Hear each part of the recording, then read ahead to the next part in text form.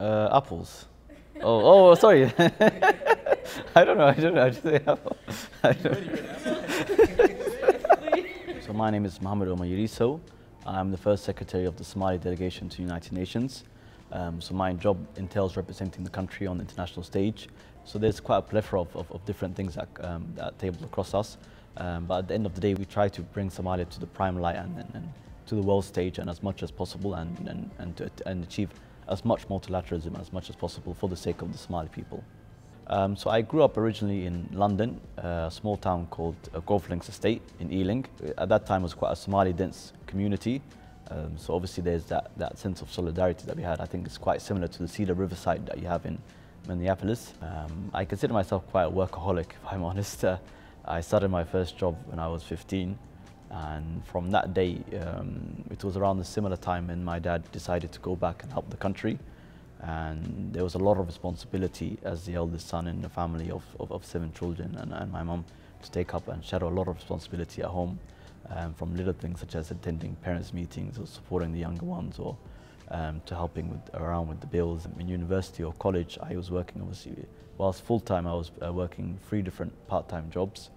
Um, so it's just just that that, that emotion of uh, that resilience and and, and that uh, sustainability, and I think that's quite helped helped me uh, mature quite a lot from a, from a young age, and helped me to take up um, responsibilities that, that, that I'm doing now for the sake of the country. Um, I mean, I always say um, God is the best of planners.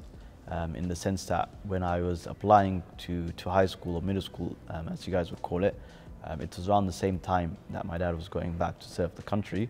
Um, so we missed the deadline to apply for different schools. Um, then when that happened, you are automatically allocated a school. And I was allocated not the worst in, in, in the borough, but the, one of the worst in, in, in the UK um, at that time. So then my, my, my, my, my father made a con conscious decision to, to send me to an, an independent school at that time.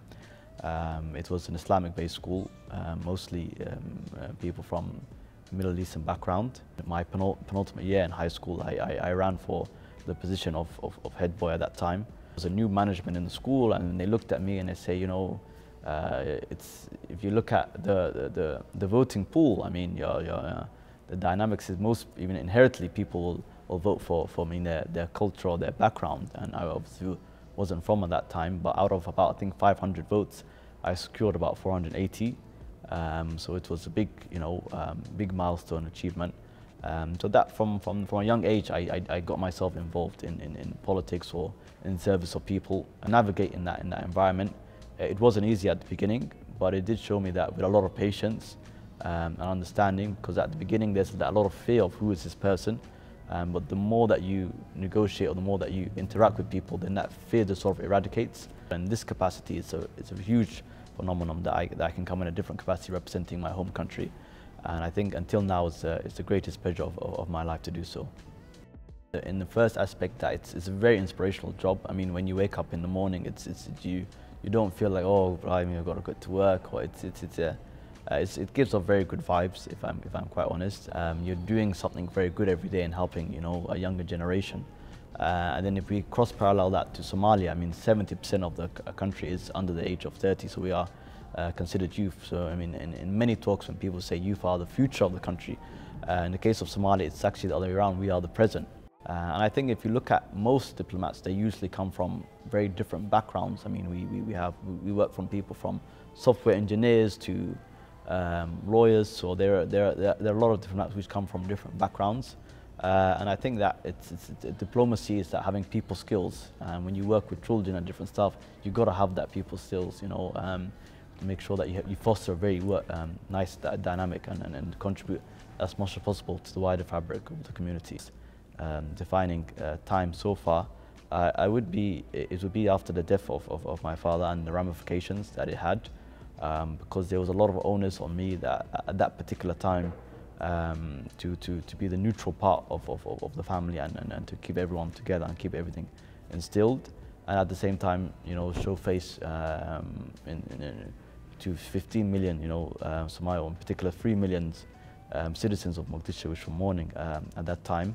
The, the moment you arrived in, in, in the country, there are just uh, cameras and, and, and people coming on all sides. So uh, it's, it's, it's, it's, you got to grieve at the same time, but you can't let people show that you are grieving as well. You've got to show that the strength and the resilience um, to, to, to, uplift that, that the legacy as well um, that my father left behind.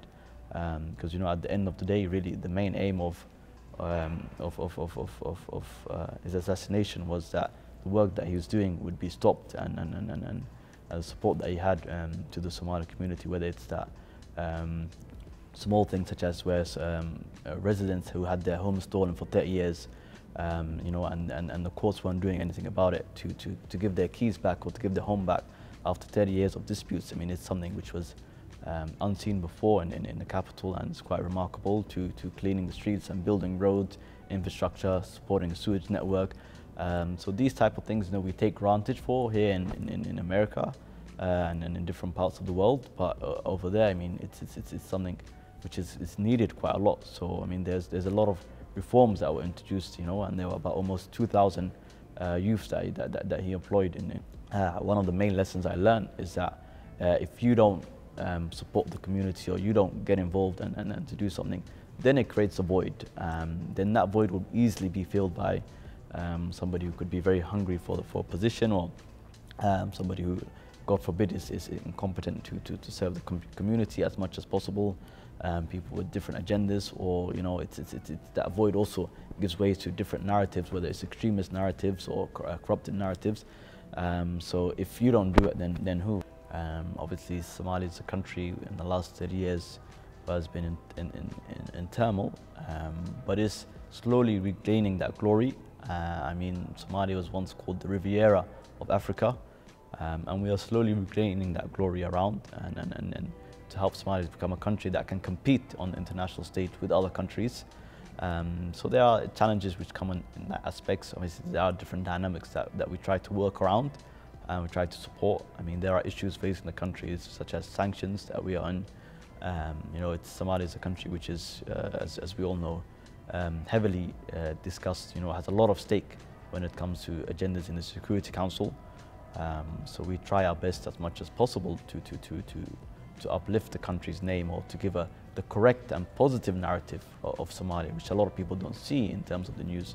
Uh, I mean, it's very unlikely that you'll open a news outlet and you'll see you know, a very positive story on, on Somalia or, um, you know, the, the many hotels which are blooming again and restaurants which are reopening and the businesses which are going quite fast. I mean, we are expected to be the first country to be a cashless society um, where all transactions will be completely digital, which is something quite to be proud of. I mean, in terms of e-commerce and in terms of technology advancements, we have the cheapest um, internet and broadband services in all of Africa and the seventh cheapest in the world.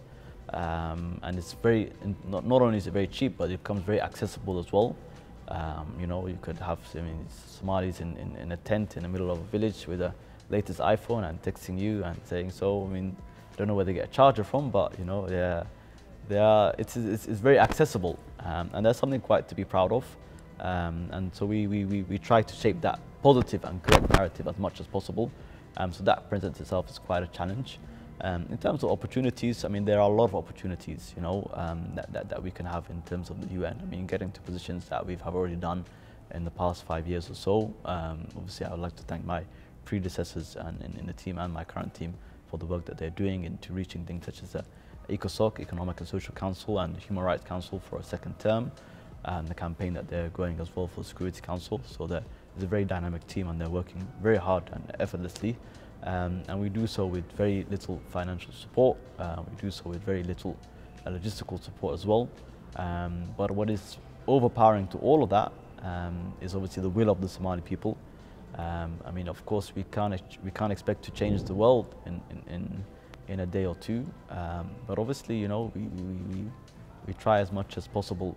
Um, you know, and so be it. If we have to die trying, then of course, you know, we are ready to do so. I mean, it's a we must always remember that if we don't do um, the service for the country, then who will do so? so my, my, my area is, is, is, is, a, is a Somalia which is stable, uh, prosperous, um, gives equal opportunity to youth, uh, women, marginalized groups, uh, a country that can compete in international scale, um, a country that has regained its glory, you know, as a Riviera of, of, of Africa, um, a fast place, you know, and, and a booming economic industry um, and, and, and, and, a sense of, of pride um, that we can that we can give. And I, I hope in, within our lifetime that that Rio can be transformed to a vision, uh, and then therefore that vision will be transformed into, into a reality. Um, so it's, it's, it's, something that I'm very optimistic for, uh, and I'm sure that, that, that, the will of the Somali people and the resilience that they have shown uh, will allow us to achieve remarkable milestones. And I have no doubt that the future is very bright for us, and uh, I hope in, in, that I can continue to serve the Somali people as much as possible.